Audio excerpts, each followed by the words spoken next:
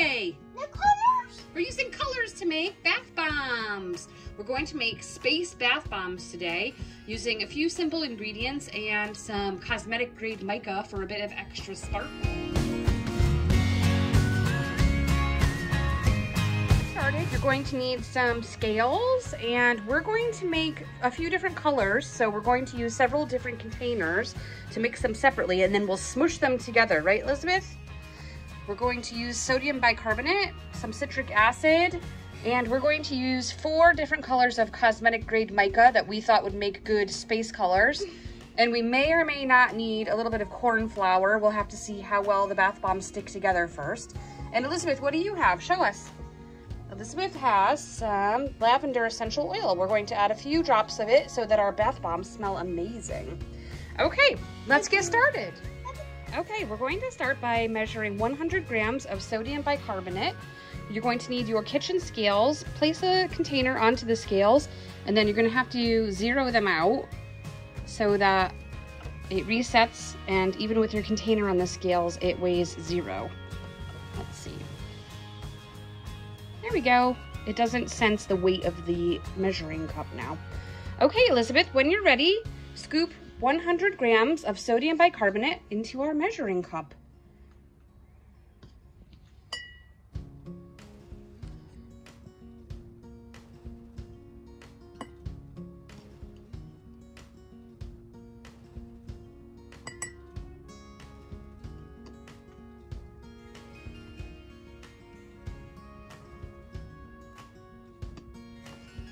we're just over halfway there, Elizabeth.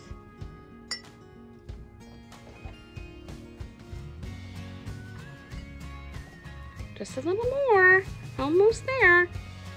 Okay, so we have 100 grams of sodium bicarbonate. We're going to make several different batches because we're using different colors and we don't want them all to mix. So we're going to pour this 100 grams of sodium bicarbonate into our first container and then we're going to measure it out again. Ready, steady, go. Yep, ready, steady, go. Pour it into the bowl.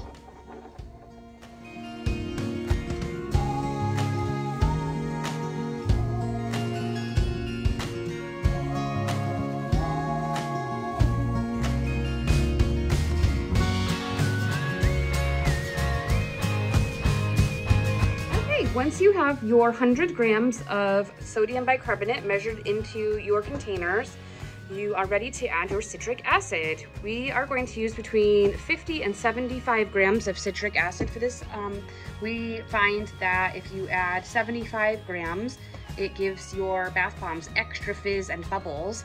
So that's what we're going to use today. Um, again, we're only using three different containers because we're going to use a several different colors and we don't want them to mix in the bowls. We want them to be separate and then we'll kind of clump them together into our bath bombs after. But you can use one bowl if you just want to use one color. Um, but if you're gonna do them separate like ours, then measure 100 grams of sodium bicarbonate into each container and then between 50 and 75 grams of citric acid into each container separately. Okay, so Elizabeth, when you're ready, we are going to pour some citric acid into our measuring cup. Again, um, you need to zero your scales out. Just turn these back on because they've gone to sleep. There we are, zero. And Elizabeth is ready to use our spoon to put our citric acid into our measuring cup. We need 75 grams, Elizabeth.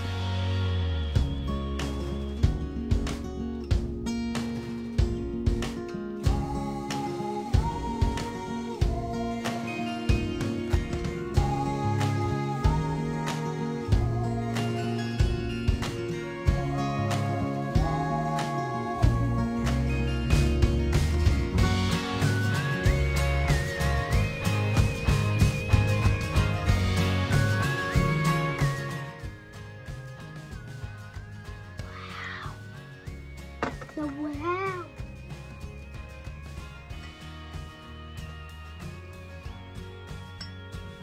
No more. There's more.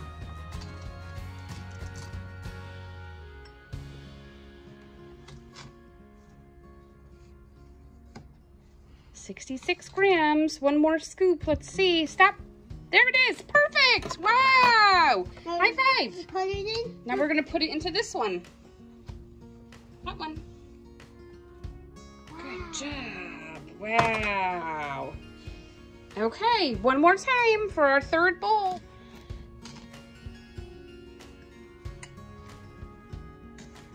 Sixty-five, just a little more. Let's see. Ooh, 74. Oh, it's going down to 73. Let's see. Add just a tiny, tiny bit more.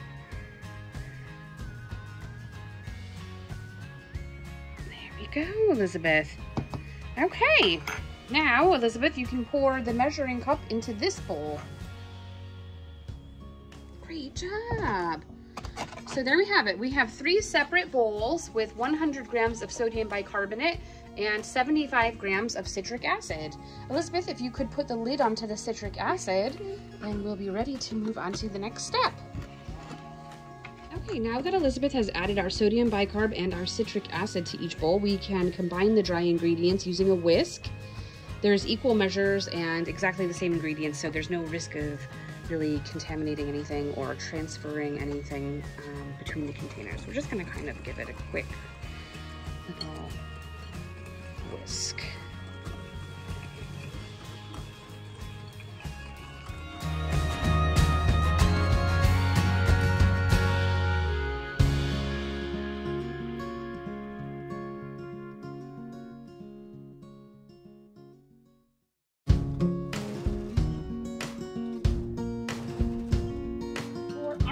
Bath bombs, we're going to use cosmetic grade mica to color them.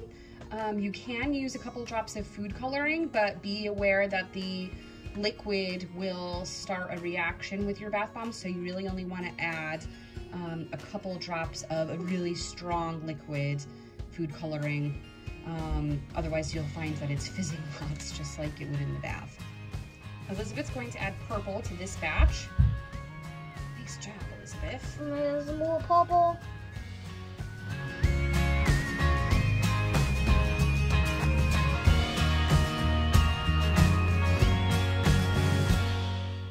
Elizabeth's going to add some blue mica to our second batch.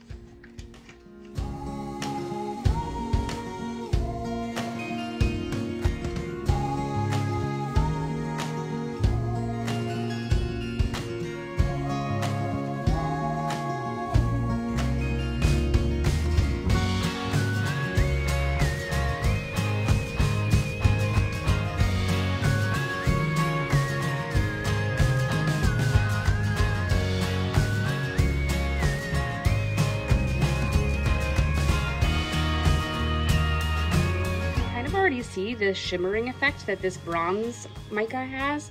It really has an incredible effect in the bath and is definitely one of my favorites.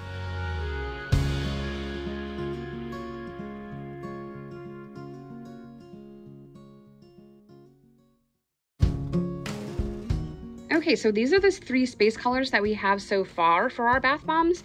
Um, you'll notice that we haven't used the black mica yet. What we're going to do is first add our drops of our essential oil that is going to give our bath bombs a little bit of fragrance.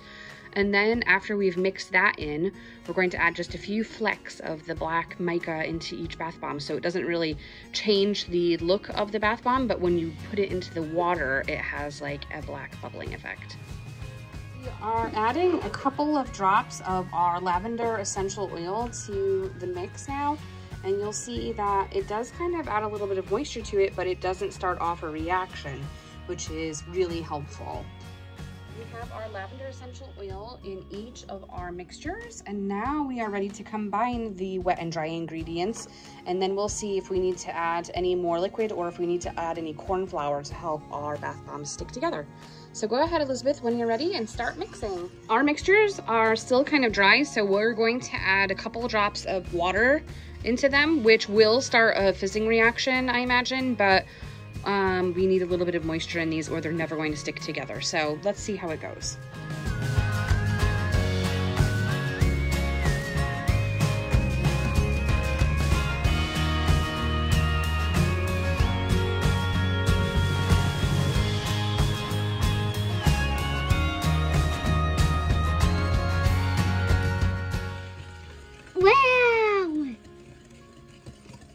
As you can see, we do have a little bit of a fizzing reaction, which we're not really too bothered about. It's just a little bit, um, but you can see that they're going to be excellent fizzers in the bath. We're just going to mix those couple drops of water in to create just enough moisture in this that it sticks together, but we don't want it to be wet. It does need to be pretty dry. I think this is just about perfect.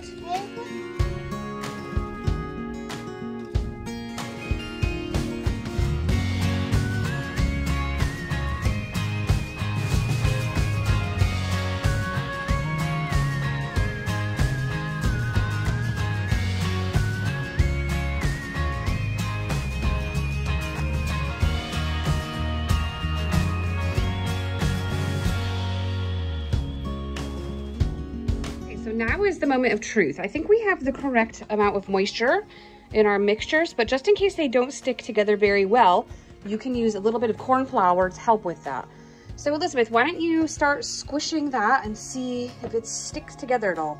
You're going to have to compress it really hard. You can use a mold, um, which you can buy on Amazon to make them round or heart-shaped or whatever shape you'd like.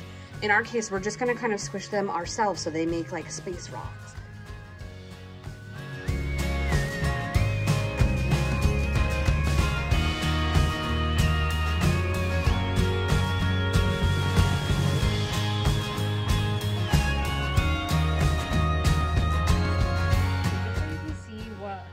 Of consistency you're looking for. This is what we're talking about. It sticks to itself just a bit, but it's also very crumbly.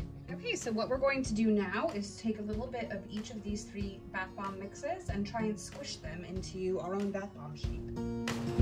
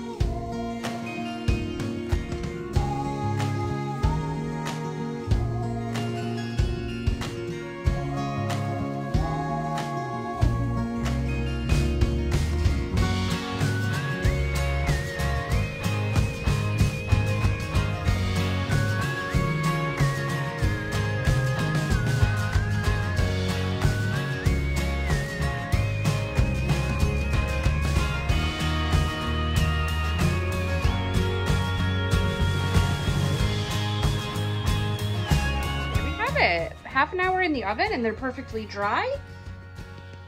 Ready for the bath. Good job, Elizabeth. High five. In the bath. Let's go try it out.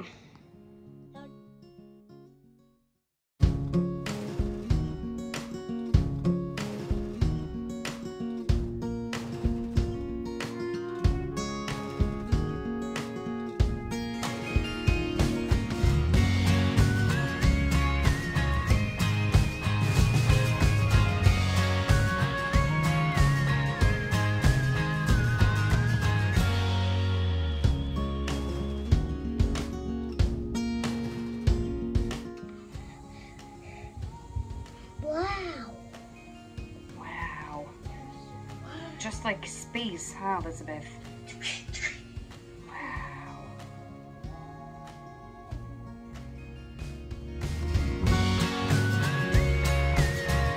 Please like and subscribe, and we hope to see you again soon. See you soon. See you soon.